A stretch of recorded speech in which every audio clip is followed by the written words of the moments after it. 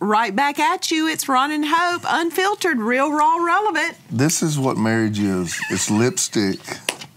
On, when did you drink my tea? A little bit ago.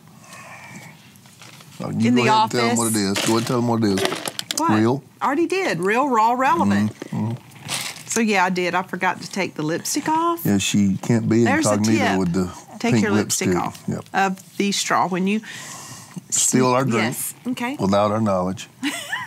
and I like you drinking after me anyway because you backwash. Remember a couple yeah, of episodes you told ago him you backwash? backwash. But no, I don't. So anyway, we are glad that you're here today. We got some fun topics, but you know what? Today's not that fun. Today, Challenging. They's it's challenging. challenging. And challenging. It's really about how to sustain success and how to go the distance in life. You know, I think that's one of the hardest things. We all, most of us, start out in life like, rah, we're going to do this. We're going to jump into this diet. We're going to jump into this new business. We're going to jump into this And project. then life happens. But yeah, then boredom sets sets in, Yeah, like frustration burnout. sets in. Yes, tired, uh, money Kids, problems, finances. kids. So how do you go the distance? How do you end strong? I want to end strong. And every one of those things you talk about, every one of them has to be managed. yeah, because you keep you keep the goals, you keep the dreams in sight, but you got to manage everything that life brings your way because you will not be dealing in your 50s with what you did in your 20s. You'll not be dealing with in your 40s what you did. I mean, the, the, all these different seasons, you're headed in the same direction, but it's like going through terrain. You, you go through rain, you go through wind, you go through sand, you go through desert. You go, you know, so uh, it's all on the way. But I got to be able to manage the heat. I got to be able to manage the cold. I got to have the rain. I got to have the snow. That's kind of what life is. How do I stay on the road, but manage all the seasons? don't derail. Yeah, don't don't don't stop, don't quit, don't fall apart. Yeah. And uh, got to give a little bit of credit where credit's due. We just had a couple of days recently with John Maxwell. Yes, it was and, glorious. Uh, and he talked really. He talked about some of these things in a way where it would be really slanted to lead pastors. We don't want to do that. No. We want to take In it life. and we want to rework it and and and put our own wording into it to just talk about life in general. Um, if know, I it's easier to get married than stay married. than to stay married. Okay, here's what I used to say years That's what ago. we're talking about. uh, wonderful, wonderful friend, and in some ways a mentor of mine, Bishop Tony Miller, who's gone on to be with the Lord. He made this statement back in the 90s. I'll never forget it. I've quoted it a thousand times. It's easier to obtain than it is to maintain. Yeah, so true. It's easier to obtain. And I've, I've used this analogy. Uh, you got people in the Hall of Fame. You got people who win the Oscars. You got people with a PhD. Uh, the people with PhDs, they didn't go to class one time. they went to class nice. over and over and over again for many, many Yes. years. And after that, after they sustained it, their goal was met. A person who's in the Hall of Fame, they didn't hit a home run one time. Right. They hit a home run over and over Yeah. and over again It's over a 15 year period. Very consistent. So uh, that's that's a little bit about what we're aiming is not the the flash in the pan life, not life was good in my 30s, Yeah. but it sucks now, you Yeah. know. But we are seeing, baby doll, uh, especially in ministry. Uh, we see people that are actually ministers, and then we see people that are actually in our churches, in our flock. We see people coming off the rails Yeah. We see people um, taking hard falls. We have had our own cup of sorrow Yeah.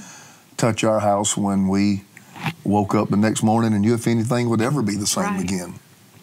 And so uh, the, these will chop you down a notch, Yeah. uh, chop you down to a stump. We call really. it we call it when life happens. Yeah, that's when life happens. And so we're not talking to you out of something we got out of a book. We're talking to you out of many experiences with people that we love. Right. And then we're talking to you uh, some even out of our own experiences, how by the grace and the mercy of Almighty God, even in the most difficult of circumstances that happen in our life, our family, our marriage, somehow God let us keep the wheels on the rails and we're still moving this day. So what what what are the underlying qualities that think we need to help you keep going when life happens and when you do get derailed? Because I think we got to um, just hit that myth that you can go through life and life never touches you. You can go through life and you never have bumps in the road. You you can go through life where tribulation and trial doesn't hit your house. I just don't believe Jesus that that's that. even realistic to think. Jesus talked about that in Matthew 7. He said, Hope. He said, There's two houses. He said, There's a man that builds on the sand. He said, There's a man that builds on the rock. Nobody knows what the house is built on because you can't see it. All you see is cosmetics, all you see is structure. And cosmetically and structurally, both these houses look fine. Yeah, it didn't talk about the house, act, Mm, that- what it fine. looked like. Exactly. talked about It- the it says, foundation. but one, the man who heard the word, but he don't pay any attention, that's sand. yeah. The man who hears and does the word, it becomes his lifestyle, becomes his faith, says he built his on the rock. And here's another thing neither were exempt from storms. Neither. So just because you got saved, just because you got saved on Easter and everything has not been fixed in your life. Right. Uh, just just because you know you've accepted Christ, nobody is exempt from storms. My storm may not be yours, but everybody's going to have them. It's not a it's not an issue or a question of whether or not you're going to have a storm. It's a question of whether or not you'll be standing Yeah. when the storm is Can you can you get back up? You know, though a righteous man falls seven times, but he gets back what makes up. him righteous? is Not that the he fact that he didn't up. fall, uh, that he failed, but that he got back up Yeah. every time. I saw Michael Jordan had a quote a while back. He said, "I failed, I failed, I failed, and I Mm, so failed." And he said, "That's why I succeeded." That's so good. I thought that was so powerful. In other words, no failure stopped him. I think He people think going. being successful is that you never have a failure, and that's just not true. And we talked about the quote from Bill Gates to talk about Bill Gates. I don't know anything about Bill Bill Gates, so don't you know don't don't judge me on that. I'm just. Uh, it's obvious he's a he's a brilliant man. Um, he said this. He said, "Success is a lousy teacher." That's a powerful. It statement from one of the richest men in the Yeah. world. He said it's a power. He said it's a lousy teacher. He said because it trains you that you can't lose. And uh, I've probably experienced that. You know, there was a day where God was so good to redemption. It was like everything turned to gold. If we did it, it succeeded. I didn't think that was me. I didn't think, but we just, as a people, it was a strong thing God had built, and no matter what community effort, yeah, it was just. And I remember we built an Imagine Center, five point seven million, because I just wanted to keep creating community. We had, we had all these big events, were Christmas events and July the 4th events, and we were just that church that was serving the community. Well, I wanted another place, and we did that in 09. Well, 2010, the recession hit yeah, and this big, strong, worldwide, global ministry, we were inches away from declaring bankruptcy. Right, I remember. I mean, inches. I remember the phone calls. I remember. I remember laying off seventeen single moms in one day And cried. And I mean, I felt like the devil. I mean, I went. You home came and home and put your head wept, in my lap and, I and wept. cried. And ju- so, success is a kind of a lousy teacher because if I look back, as much as I hate this, I've probably learned more from pain Mm. Yeah. than I ever learned from a victory. Yeah, and you know we don't like waiting either. No. Nobody likes to wait. Speaking of Especially me. waiting, speaking of waiting, nobody likes to wait to get paid either, right? who who likes to wait on their paycheck? I don't. Listen, especially when you got bills due. You got bills, I got bills, all God children got bills. Mm-hmm. And nobody likes to wait on a paycheck. Well, the good thing is there's Chime. Listen, I would not tell you about things that I am not a an advocate for. Chime is amazing. Listen, you can get your paycheck up to 2 days early. Don't that make you want to do a happy do dance? that? I I know they It's that. just amazing. 2 days early with All our their technicians in the direct room are looking I know they're looking "We wanna going, do that. "What? Yeah, What? do Huh?" that. Mhm. with their direct deposit. Listen, Chime is more about it's it's more than just getting your paycheck early though, which is like enough, right?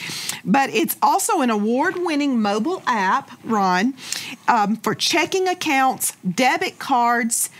Um, and an optional savings account. It's like a whole financial hub for you. It's like a little financial management center. It really is. It's so good for young couples, for young people who really need accountability for managing their finances, getting their paycheck early. So, what are you waiting for? hopefully not your paycheck, right? So uh, get started today with Chime. Applying for a free account takes less than two to three minutes, Oh, wow. literally 2 to mm-hmm. three minutes. So get started today at chime.com slash Ron and Hope. Say it again. Say it again. That's chime.com slash Ron and Hope. All right. Talking about sustainable success, talking about two houses, talking about both of them have the storms, but one house is able to sustain the storms mm-hmm. and one house gets wiped out. Let's just throw two or three things out there. Stay stay with us because actually these are not deep. Pardon me, but we talked about before we started the podcast, Willard, I said this is gonna be challenging Um, throw the first one out there. The the first step to sustaining success. I want to end well. I don't want to come off the rails. I don't want my life and family to fall apart. Uh, I, I I don't want to be debilitated in my later years. How do we do that? I tell you what. I'll take the first one. Okay? I think we need to be self-aware. Mm. I talked about this with both staffs yesterday Mm. yeah. on both coasts. To be self-aware. That's so hard. Define Do you that, though. understand how Look, hard that is? Very hard. To look at yourself in the mirror and say, you suck, Mm-hmm. or you're lazy, or you have no discipline. You know, we, we have self talk, so we want to talk to ourselves, and we, we even tell ourselves how awesome we you, are. You've so got pop, to be you've got pop psychology to tell to say good Yeah, things yeah, to yeah, yourself. Yeah. Tell, Speak tell your yourself good positive things. Yeah. affirmations all the time, and I believe in it. We believe in it. It's Yes. faith. But let, but when I'm talking about, I'm looking at you, right? This camera, right? Okay. to be self-aware basically means, do you know you? Do you have honest conversations with yourself? Mm. And most people, I'm just going to tell you, do not. And that is hard to do, even somebody who is aware of it and tries to. It is hard to have honest, honest conversations with yourself. Because let me tell you why. We judge ourselves on intention, but we judge everybody else on action. Yeah, we do. So we judge everybody else on what really happened, but we want everybody to judge us. Well, it was in my heart, you know. Yeah, it's Uh, even like saying, "Well, God, I want you to get them, but God, I want you to give me mercy." Yeah. God, give me mercy, but make them pay. Yep. It's kind of the way we are about being self-aware. Self-aware means you you got to be honest with yourself. I'm 53. You and, look good though. uh, thank you. I'll Come take on that now, right now. good. Anything now like I'm that, very I'll take aware it. And that uh, you look good. You need to quit rubbing me like that. Um, anyway, 53 years old. I'm not proud of this. I probably, what, oh, mid 40s, last seven or eight years have probably had the most real conversations with Ron. With Ron. Uh, are you honest about your blind spots? Okay, honest about these are my dominant strengths and these are my dominant weaknesses. Are you honest with yourself about what it's like to work with you? Mm. What is it like to be on a team with you? Now, what is it really like? Do you, do you, you know, what is it really like to be your friend? Is it a weight? Is it a drain? And these are not conversations where people are having to call you out. This is the way you talk to yourself. Yeah. That's self awareness. Yeah. I believe great leaders are self aware. Putting yourself in their shoes. Exactly right. And um, I've, I've always said this have these kind of conversations with yourself so somebody else doesn't have to. Oh, that's so good. So somebody else doesn't have to embarrass you. Yeah, so somebody else doesn't have to you call on you, out. carpet. So you're honest with yourself. So just let me give a few examples. Um, in, in my own life, uh, I, I communicate to millions now. So in my mind, okay, God's given me some gifts, and, and over time, God's helped me to become an effective communicator. But people in the office get frustrated with me because I don't communicate well. I'm not good with emails. I'm not good with timely responses. Now, 10 years ago, I don't know that I'd admitted that. I would have said something like this Well, you don't know my schedule. Wait a minute. Yeah, that's right. Take it. Do it. What now? What'd you just say? I'm not good at what? I'm, I'm uh, very adept at computer skills, and I'm great one on one with people. Are you good uh, with emails? No. No, do I'm you, not. Do you get back with people real good? You're better, Ron. I respond. I respond, but I'm not turn timely. this off. I was I'm trying to get all the- now. the good no, stuff. you're not going to get me on video and hold it against me.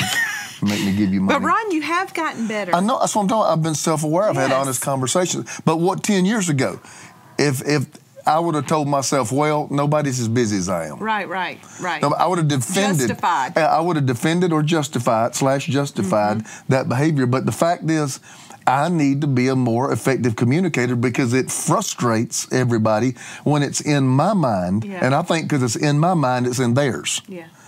And so I've had to learn these things that I do not like are important to effective and efficient running of a ministry. And so I've come to the place, you know, I'm not good at this. I'm not good at this. Uh, I'm, I'm pretty good at this. I'm not good with ideas. I don't know why. I don't know why God let me lead a ministry because usually great leaders have great ideas. I usually am not the idea guy, Hope. Somebody else in the room has the idea, then I'm an implementer. Yeah. I'm good. I You can put it in its yes, I can. place. I can put feet to it. Yeah. You give me an idea, I can put feet to it. Yeah. But I usually don't come up with the idea. Yeah. Uh, and, and if Thank you put, God for a good team. yeah, if you put me in a think tank room, I probably don't contribute much. Can, but when somebody comes up with a great idea, I can have that thing rolling in a week. Yeah, so I have to understand these are my strengths, these are my weaknesses. Uh, self-aware. Um, I had to I had to learn with you uh, that you can win an argument and still lose. That's so good. Um, when we used to argue, I didn't want to quit till I was right. Do Or, some- or you knew you were right. some- You just wanted me to say you were right. But I mean, that, now I realize that's not. But you lost. I realize that's not necessarily a strength that I can win an argument. Right. It may be a great weakness because sometimes it just don't. It's not worth it. It just don't It's not matter. worth it. And and I, I unfortunately, I wish I could say 28 and 35 and 37. I knew these things, but I but just knowing what we went through and our timeline, probably. I think this this probably mid this helps. 40. This color right here. Are you even listening to anything I that I'm saying? but I'm so enamored by how good you look Why is with that? your Is it silver? 53 and this silver fox right here. I think silver fox you told me the other day it was white. equals wisdom. Okay. So y'all listening, Listen, y'all don't I'm have the trying gray to be. yet. I'm trying to be real, raw, and relevant. I'm being real. Doing this right here. Okay. But that, but self-aware. What would you say? Okay, I've been honest. Yeah. I've told about three or four areas of my life where I stink. Okay, what, what's the place where you've had to become self-aware? Meanie. Let me help you, Meanie. I can't think of any right now. You can't think of any dominant weaknesses. Maybe that's your dominant weakness. That you can't think of any dominant weaknesses. No, I have plenty, actually. I have a notebook of my weaknesses that I work on. But I would say, overarching of my life, the number one weakness I have had in my life, and you will probably say yes and amen, has been discipline. Yeah. I would say that had been oh, because I am very creative, um, artsy. I, I was a musician, singer, and just you know the happy-go-lucky. You were a free spirit. You were a flow, free You know, just what am I going to do today? And what do I do? I want to exercise in the morning or in the afternoon? Do I want to exercise at all? You know, what do I feel today? So I think over And you married Mr. Structure. Yes. Ooh, that was a, a conflict Mm-hmm. waiting to happen. But I think in my life, I, I embraced that that was who I was and did not want to work on discipline Instead of an I- area of change. Instead of an area of change. And so over my life, I have tried to become, even like, okay, time I'm getting up, this is when I'm going into the office. You have changed that. And, You've you know, changed a lot in that. I have become more Yes, you have. disciplined Yes, you have. the older I've become. Well, let me ask you. Can I ask you another question? Yeah. And I don't even know the answer to this. I'm asking you because you're going down a good road here. When did you start challenging yourself in that area? So when did you come aware? You know what? when, I don't need to justify this. when my life this. fell apart, Okay, uh, mid 40s, mid, early, late, early, four- mid, early, early 40s. 40s, when I was like, you know what? Clearly, what I have been doing has is not working. So I had to back all the way up and really evaluate. You know the people. You know how people who say, "Well, that's just my personality." Um, just because it's your personality at that point. I probably heard you say that back in that those days, That's yeah. what God wants you to be. I believe our personality develops from the way we were raised, our experiences, fruit of the Spirit. Yeah, what you Yeah. put in you, who you surround yourself with. Um, so uh, you can't use that excuse. So I had to back up and say, who really am I? Who is hope? And where eh, where is hope weak? Where is where am I missing the mark? You know, of the call of God on my life.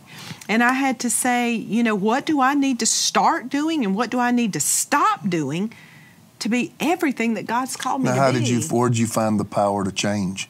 Because being aware and journaling things, and it still is not change. No. it ain't change till you change it. So how? A lot of people say, okay, I've done the, I've done the reflective part. I've done the introspection. I had I've, to I've writ- hate where I was and desire something. I had to hate where I was instead of embracing where I was and making excuses for where I was. I had to want change more. I had to want to be better more. so the power, the the pain of staying the same had become greater than the power pain of change. Yeah, yeah. So in other words, you looked at change and it became your Because where I was wasn't good. Right. And it was going to be hard either way. Stay there, all these terrible consequences, or be in pain to change and get good results. Because I think the power to change is where a lot of people would say, I'm willing to look at myself. Yeah. I'm willing to write things down and, and challenge, but then the actual power Yeah. to change a personality and lifestyle Yeah. and and attitude and way of And thinking. And it's not quick. no, it's, it's, a not process. easy. Um, it's it's a lifelong process of growing. Growth It's does not journey. happen quickly. Yeah, it's it's like a child yeah. born into the world. I mean, it takes a long time to grow and to change, and growth hurts. I could morph just this a, into just a muscle to grow a muscle. You have to put pressure on it Over time, to make it grow. Consistent, consistently over time. consistent pressure. People ask me, they say, Pastor, you know, I, I can tell physically you try to take care of yourself. I'm grateful for that because actually I work very hard, to take care of myself. But they say, "What? You must really work out hard." I really, I Mm-hmm. really don't work out that hard. I tell them, I said, the thing is, I don't miss. That's so good. It's not that I go in there and I'm doing these So Terminator good. workouts. No, I don't walk out and can't walk, holding on to stuff Right. and, and burned out, my muscle fatigue. I, I don't work out, but I don't miss. So good. It's the consistency of the fact that I don't miss. Yep. And so the long and short of it is self awareness is a big key. Let me say this one more time, okay? Having honest conversations with you so that nobody else has to. It's good. What's another one? I would say Accountability. that's exactly Ron. That's what I was going to say. Is Accountability. Well, we, we talk about these things all the time. Uh, Seriously, We just don't do this to on a be podcast. able to go the distance. That's what we're talking about. Being able to go the distance, to be successful for a long time, not just one month, not one week, not one year, over your lifetime. And I would say your circle is so important. Really, your circle is so important. a wrong a wrong one can just Ah, you know, your mom and daddy, my mom and daddy, they're country people, so they would say, you lay down with dogs, you get up with fleas. You know, you they had all these funny sayings, but you, birds of a feather flock together. the Bible's a little more spiritual. Yeah. Good, bad company corrupts good character. And that you know. always intrigued me, that scripture. Bad company corrupts good character. You would think that the good, right, would go in and change the bad. But it's the bad That's usually not how it that can change the good. So you can't say, well, I'm just going to go in there and spread my light and I'm going to go in there and change this man. Most people get their life put light put out. Yeah. When they when they do that. Accountability is not just an accountability mentor. Account- I appreciate everything Promise Keepers back in the '90s. I mean, trying to find someone, and whenever you're about to watch porn, or whenever you're about to Call yeah, call some, uh, or, or you know, whenever you're about to do that, you know, call your accountability partner. I appreciate all that. There's nothing wrong with any of it, but in my life, there was never somebody when I was getting ready to sin. Right. I mean, it's just not. And so, there. When I say accountability, I'm not talking about necessarily a person. I'm talking about your spouse. Yeah. Um, my my my marriage is my accountability partner, mm-hmm. which means my wife cannot be surprised when I reveal a struggle. Yeah. Especially ladies, if your man ever comes to you and reveals struggle, don't drop your jaw. How dare you? bl- because he just told you the last one he ever will. So Hope had to earn that trust over time, but my struggles usually I bring to you. Yeah. And then vice versa. Vice versa. You have to be willing to accept what The your flaw. accountability partner is bringing to you. The flaw. They're Mm-hmm. saying, if I came to you and said, Ron, I really want to talk to you about something, Mm-hmm. I see this in you. And it's, you know, it's really hurting me or it's harming your leadership. Mm-hmm. ain't going anywhere or it's not going Yeah. yeah. And you can't be defensive. You have to know that they love you and they want the best. I remember several times in our marriage, I've come to you and you would get frustrated with me. And I'd say, Ron, I, we're on the same team. I'm doing this because I'm just telling you this because I want you to be better. And that's hard when you got somebody who is your spouse and you want to put your best foot forward and they're coming to you saying, uh, you stink in this and you're not doing a good look, job look, at let's this. be real raw and relevant. It's hard for the person you're sleeping with to call you out. yeah. You But know, you're, you're my lover, and the next day you're But I'm you're also calling your me out. helper. Exactly right. And those are dynamics that have to be managed in marriage. I'll tell you another thing that keeps me accountable: being a pastor. Yeah. I don't I don't want to disappoint people. I, w- I want I want to I have to be able to get up in a pulpit with a clear conscience. Um, I'm not above it certainly, but I've there's just something about me. If I know I'm not right with God, I lose all my confidence. Yeah, you do. I lose all my confidence.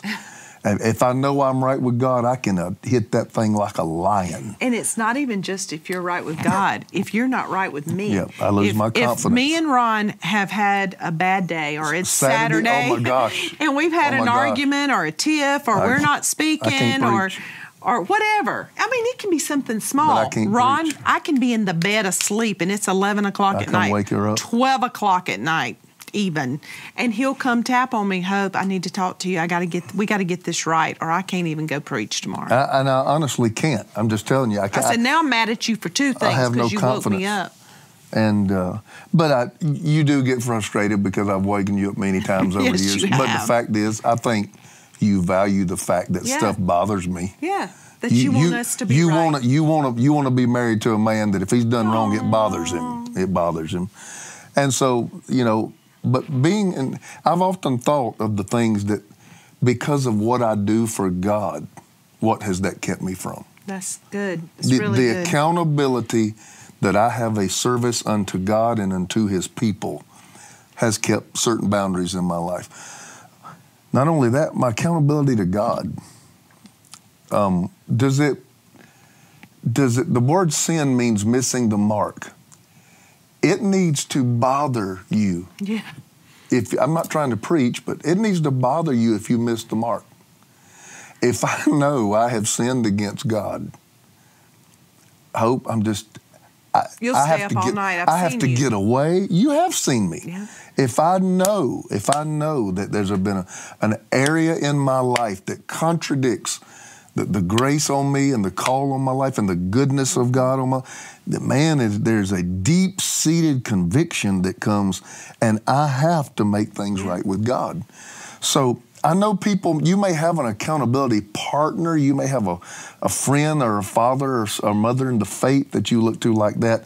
But to me, it ain't just that. To me, it can happen in your home, it can happen in your marriage, it can happen with God. yeah. I was about to say God's word Ultimately, yeah. is. I mean, it'll smack you in the face. I mean, will. it always holds you accountable. It is a mirror into your heart, and you know, if you're not in the Word, I mean, I don't. I don't understand that. I don't understand how you can stay on the straight and narrow, how your marriage can function properly, how you know what to do with your money, how how you know what how to live this Christian life if people are not practicing spiritual disciplines Right. in prayer and in the word. It just blows my mind, but Let's these throw are out just one some more. Let's throw out one more. I don't know how much time we got. I was looking about for a counter. minutes. Humility. Humility. Now, this is more of an attitude. You know, accountability is something you put in place mm-hmm. in your life to protect you. Self aware is being honest with yourself about dominant strengths, dominant weaknesses. Humility is a posture, it's a posture of the heart. Ego is like plutonium. Yeah. It's like plutonium. We've seen it a hundred times. when it gets to be me, myself, and I, and what about mm-hmm. me? When those questions start coming in your mind, like, talking about going nowhere good, that's going nowhere good when you start saying those things to yourself. Humility is the answer to ego. Humility is the answer to pride.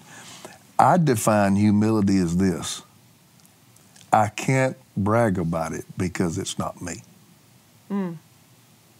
I, how can I be, how can I have an ego about a life that I didn't give me, breath that I didn't put in my yeah. lungs, a gift that I didn't have mm-hmm. myself? Mm-hmm. Everything I have is stewardship and is mm-hmm. a gift of God. Mm. And so the way I try to walk in a posture humble before the Lord it's not about you is anyway. the only understand. I used to have a plaque yeah. on my pulpit, a big yeah. pulpit, had a plaque at the top of it.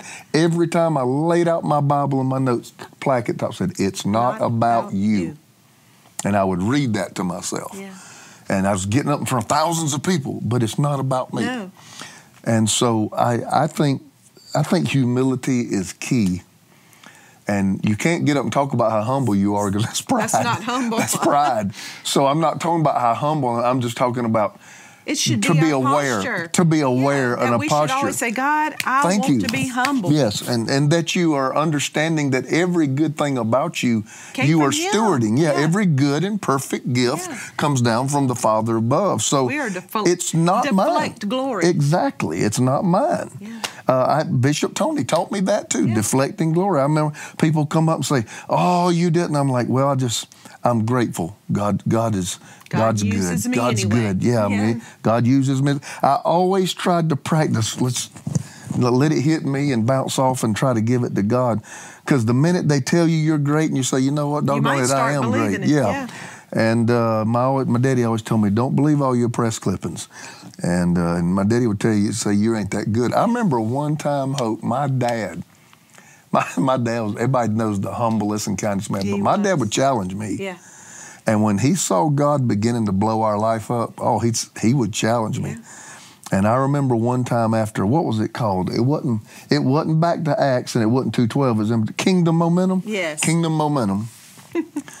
I mean, we we had had that. I think Eddie Long, and that was when Myles Munroe was strolling through, and we had the who's who mm-hmm. of Christian speakers. Place was packed like ants on an ant hill we were streaming live, and, if, and my dad was there. And after it was over with, everybody's coming up. You know, awesome conference. Man, this was crazy. That was nuts. The way y'all started this thing out, I've never.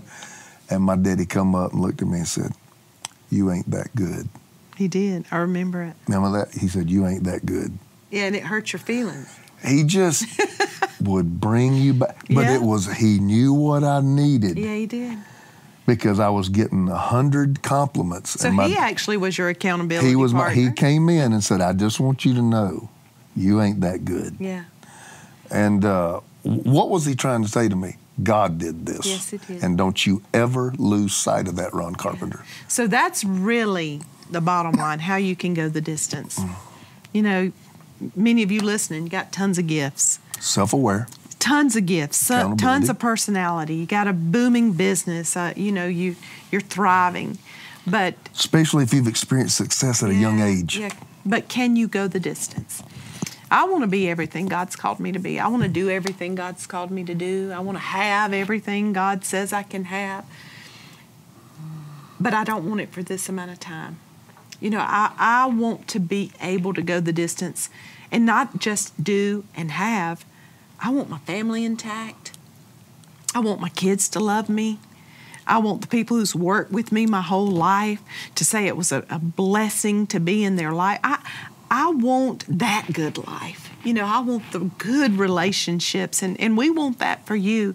So we're just here throwing out some tips for you. Take it, use it. Uh, recap what we talked about, Ron.